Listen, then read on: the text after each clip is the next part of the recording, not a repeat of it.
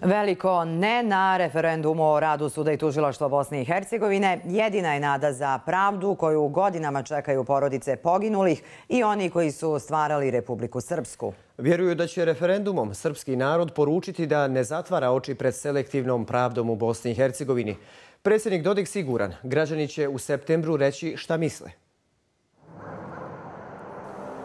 Stav Republike Srpske je jednoglasan. Rad suda i tužilaštva BiH je selektivan. Referendum je jedina svjetla tačka nakon svih ovih godina. Nepravde i mišljenja su porodice kojima su u ratu ubijeni najbliži. Cilj je, kažu jasan, zabraniti primjenu odluka ovih pravosudnih institucija na teritoriji Republike Srpske.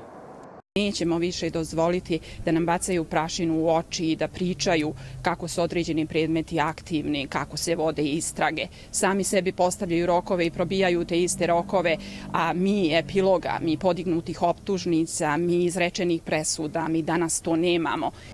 Referendumom Republika Srpska ide u borbu za prava koja su joj dodijeljena Dejtonskim sporazumom, kaže predsjednik Republike Srpske Milorad Dodik. Ako bi nakon referenduma UHR pokušao da poništi volju građana, Dodik poručuje da i tada treba biti uporen u nastajanju da referendumsko ne, nepravdi pravosudnih institucija BiH bude isprovedeno u praksi.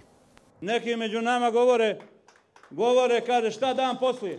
Ne radi se ovdje u danu poslije. Ovdje se radi o danu kada se održava referendum, kada će srpski narod reći ne. A ne je obaveza svakog ko radi u ime tog naroda.